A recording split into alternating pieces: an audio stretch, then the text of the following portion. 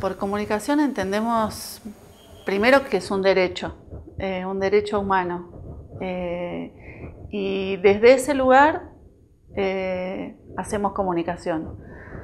Surgió así, digamos, desde mi experiencia, que es una radio comunitaria, fuimos un grupo de personas que sentimos que no teníamos espacio donde generar el diálogo necesario para, para hablar de lo que nos pasa eh, y no hablar de lo que quieren que, nos, que, hablemos eh, los medios monopólicos, digamos, de, de, la, comunicación.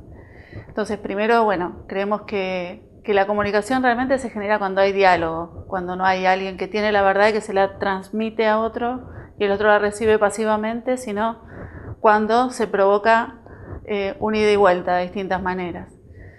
Y, un derecho porque realmente nos lo han quitado. Eh, los medios masivos eh, y mercantilizados de, comunicación cumplen un, rol lamentablemente este, que no tiene que ver con los intereses de los pueblos, sino con los intereses de los más poderosos.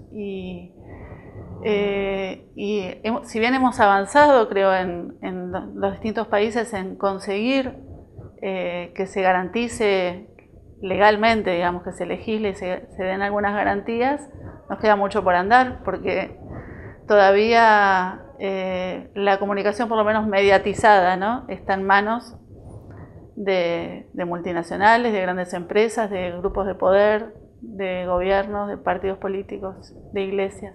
Un radio participante, nosotros le decimos radio participante y no oyente, porque relacionamos la, cuestión de ser la audiencia más con obediencia y el radio participante tiene una participación también al escuchar. ¿no? Este, decía que eh, FM Alas es el bolsón y el bolsón también es FM Alas. ¿no?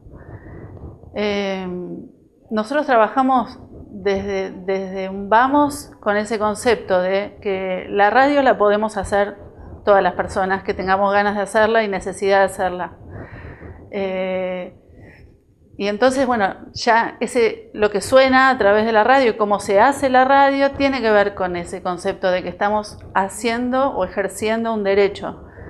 Eh, nos formamos, nos capacitamos, queremos hacer una buena radio, creemos que a veces lo logramos, este, pero... Eh, y que y no, no, seguir siendo interlocutores de las cosas que pasan, sino que sea la misma, cada vez más, ese es el desafío diario desde hace más de 20 años, que sean vecinos y vecinas de los barrios, eh, las comunidades eh, del pueblo mapuche, las que cuenten por sí mismas antes parecía que no podían hablar en un micrófono porque estaba reservado para unos pocos, para profesionales solamente. Y, no es así. Y bueno, en Alas eh, suenan todas esas voces.